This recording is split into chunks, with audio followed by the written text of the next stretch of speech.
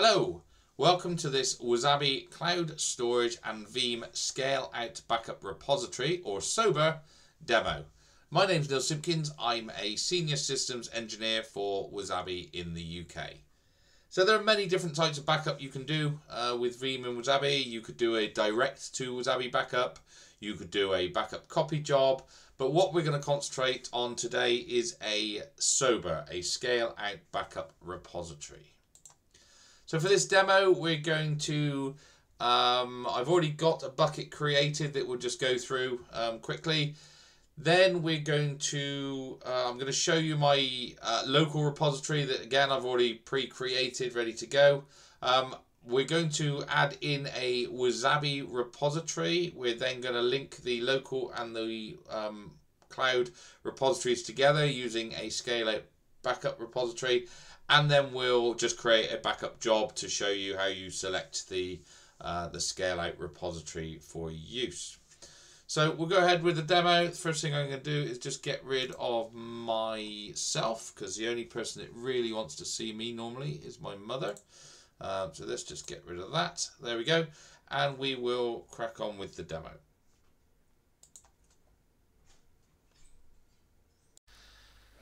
So the first thing we're going to do is create ourselves a bucket. I've logged into the Wasabi console. So up here on the right is the create bucket button. I'm going to go and give this one a name. Uh, let's go for NS um, Veeam. Oh, hang on.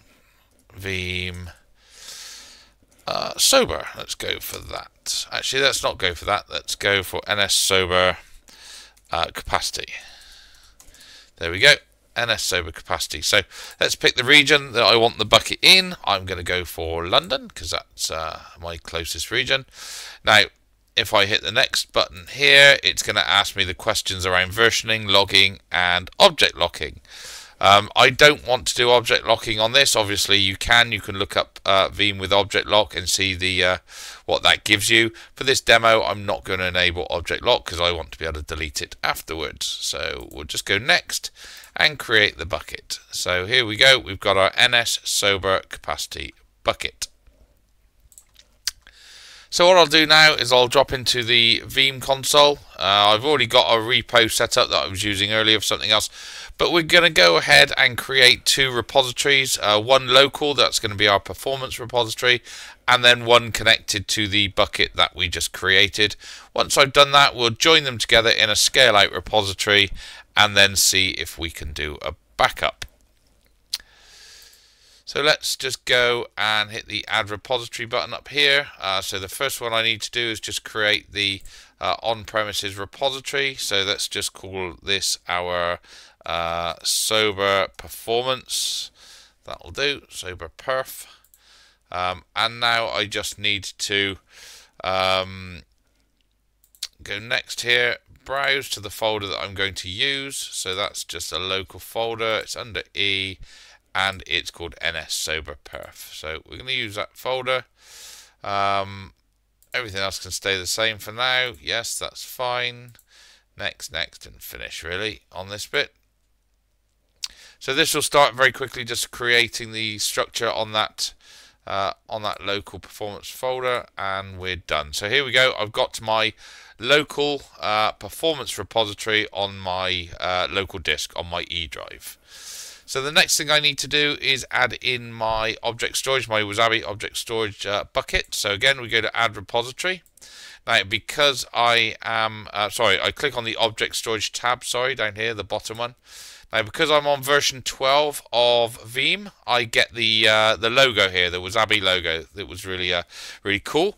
Um, if you're prior to version 12, so if you're 10 or 11, then you have to just use the S3 compatible um, option at the top here. But anyone who's uh, on version 12, you'll notice that we've actually now been included as a logo on the object storage tab. So that uh, makes it a lot easier. I can just click on the Wasabi storage. Um, and we'll name this uh, this repository. So if you remember, we had SOBR Perf for our uh, performance. Let's go for SOBR uh, Capacity for our capacity uh, repository. Now, region here, because uh, I'm in the UK, I am EU West 1. And now this is where we would put in our credentials uh, from the Wasabi console or, or, for the user that you're using. Um, you just go ahead and put the access key and the secret key in to, uh, to save your credentials. I've already done that, so I'm going to use uh, the ones that I saved 160 days ago. So there we go. What that'll do now when I hit next is it will talk to Wasabi it will check the credentials, the access key and the secret key and providing that they're both okay, it will just accept that and move us through to allow us to select the bucket. So there we go. So now I can browse to the bucket that we created. So that was NS SOBR Capacity. Um, and we'll go ahead and create a folder uh, on there, just a new folder, and I'm just going to call that folder backups. There we go. Perfect. Okay. Uh, if I was using immutability, this is where I would set the number of days that I want my backups immutable for. Um, and you can go ahead and look at the documentation on our knowledge base on uh, immutability with Veeam uh, to understand more about uh, what it means and what it gives you. So on next here, yep, I'm going to keep all that the same. Onto the review, hit the apply button. Again, this one will probably take a, a, a minute longer um, just because it's uh, it's not local. It is talking to the uh, to the Wasabi bucket. And once that's finished, we'll go ahead and we'll see that we've got our local repository created and our um, so the local one is our performance repository and we'll also have our Wasabi repository which we will be our capacity repository. So just finishing off here, just take a few more seconds and then we'll be ready to rock. So there we go, that's finished creating the uh, repository. We'll hit next and finish. And now we've got our two repositories, our performance repository and our capacity repository. So what we'll do now is we'll go on to scale out repositories. We need to link them together. So we'll do the add scale out repository wizard um, by clicking this button up here. Uh, I'll leave the name. I don't need to change that for this demo. So scale out backup repo 1. Um, so I need to add in my performance tier. So I click the add button and I'm going to choose the performance tier that I created in the first step. And then I'm going to go on to uh, capacity tier. So I'll click the extend scale out backup repository capacity with object storage tick box and then I will choose the um, capacity repository that we just created. Now we have the options around how we actually want to move data to the capacity tier. So the first one you'll see ticked says move backups to the object storage as they age out. So what this is going to do is it's going to back up locally and then when the backups get older than 14 days it will uh, move the uh, the oldest one out to um, Wasabi. What I want to do, I'm actually going to cut that down to three for this. Um, but you'll notice as well, we've got this top box. This is copy backups to object storage as soon as they are created. Now, I want this to happen because for my backups, I want them to back up locally and I instantly want to get a copy sent out to Wasabi. So I know I've got a secure and safe copy. If I lose anything on premises, I know that I've got everything backed up to Wasabi. If I leave this unticked, what's, what's actually going to happen is it will back up the first three days locally. Then when it gets to day four, it will move the first backup uh, the backup from day one out to Wasabi. So I could potentially lose three days worth of backups if I lost my on-premises repository. So by ticking this box means that I'm definitely going to get an instant copy of everything out to Wasabi.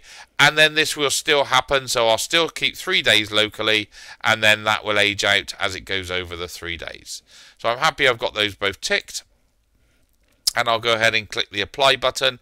What that will now do is create our scale out backup repository by linking those two um, standard repos together, the uh, performance repository and the capacity repository.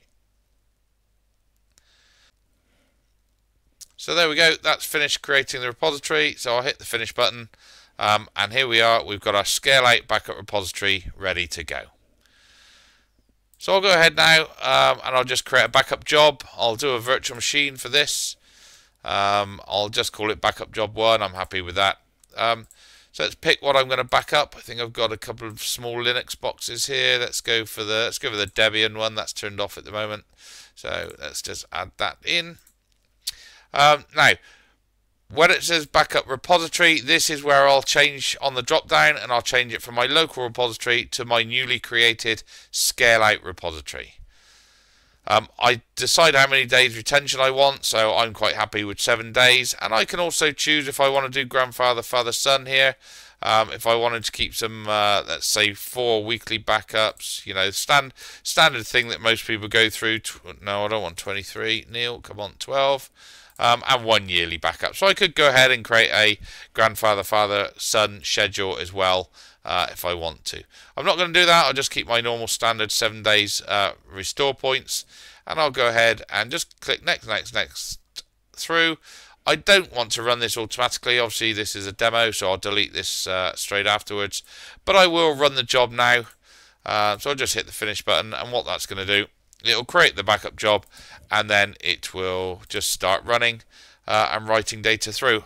I'll stop the recording now. We'll come back in a minute just to show that the recording has, uh, sorry, that the backup's happened and it's also um, sent a copy of the backup job directly out to the uh, the Wasabi repository. So I'll stop now and we'll come back in a few minutes. Hello, welcome back. Uh, managed to grab a bit of lunch while that was backing up, which is nice. So here we are. Um, so as we left it, our backup was running. We've now finished our backup job. It's actually these two on the top uh, on today's date, the 31st. So you can see we did our full backup job with success. Um, and then as soon as that completed, we did a backup offload, um, which went off to our um, Wasabi Cloud Storage. So there we go. Um, so quick recap. So backup repositories created both of our repositories, our performance uh, on-premise repository and our capacity repository with uh, Wasabi. Then we created our scale out backup repository, which basically linked those two together and set some policies around that. And then we went ahead and did a backup using the uh, scale out backup repository, and we saw that the backup was created successfully and then offloaded to the um, uh, capacity tier. So there we go. We'll leave that to the, today. Um, I'm going to do another video in a minute around a backup copy job. Um, so there we go. Um, hope you have a great day. Goodbye.